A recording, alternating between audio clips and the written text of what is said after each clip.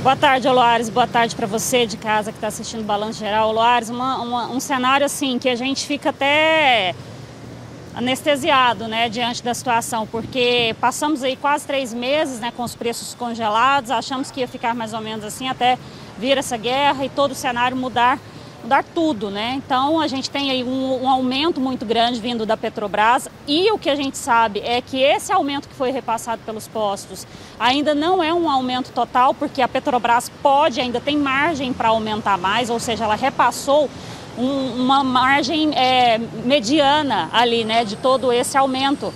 Então nós vamos conversar agora com o presidente do Sindiposto, Márcio Andrade, boa tarde, que vai explicar melhor isso para a gente, né? A gente até estava conversando antes do link aqui, ô Loares, e eu gostaria que você passasse, Márcio, por, por favor, para o nosso telespectador a respeito dessa margem. O que, que aconteceu com o preço dos postos durante essa semana e se isso ainda pode piorar, se é que a gente pode piorar mesmo, né? Esse, esse é o cenário. Sim, boa tarde, boa tarde a todos, boa tarde, Loares. É, infelizmente, né, a notícia é muito ruim para todos nós.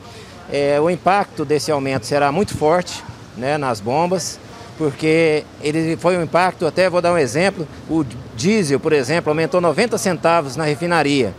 Esse aumento corresponde quase que o dobro, mais que o dobro, da margem de lucro do posto no diesel. Então não tem como absorver parte desse reajuste, né? é muito impactante.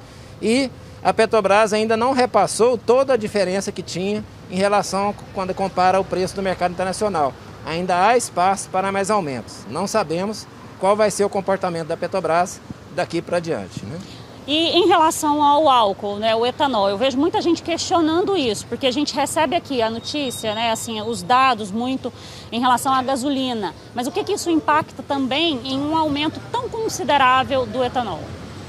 É, diferente da gasolina e do diesel, o etanol ele também sofre aumento, só que não existe um anúncio formal como a Petrobras faz, né, público. Ele aumenta na indústria, a, a distribuidora aumenta para o posto e o posto repassa isso para o consumidor. Mas existe esse questionamento, ó, só aumentou a gasolina e o diesel, e o etanol aumenta por quê? Parece um oportunismo da nossa parte, né, do dono do posto, mas não é de fato. O etanol tem aumentado constantemente também né, no, na, na distribuidora. O posto tem adquirido com reajuste. E sempre que a gasolina aumenta, há uma tendência das distribuidoras em repassarem um aumento de custo no etanol.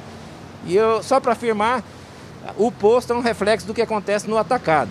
Tá? Então, sempre que tem aumentos nas distribuidoras, esses aumentos são repassados para o consumidor. E quando há reduções, que já tem há bastante tempo né, que não acontece, é, essa redução também é repassada. E segundo a ANP, o Márcio, o preço médio da gasolina né, no país todo ficou de 6,57, 6,58, em média disso. E isso vai de acordo com cada estado, porque nós também temos que a questão da margem de lucro de cada dono de posto e também a questão é, dos impostos. Agora em Goiás, como que está essa realidade? É, em Goiás nós temos, além disso que você citou, dos impostos, nós temos também o preço que a Petrobras cobra. Né? A Petrobras não cobra um preço só, igual, no país todo.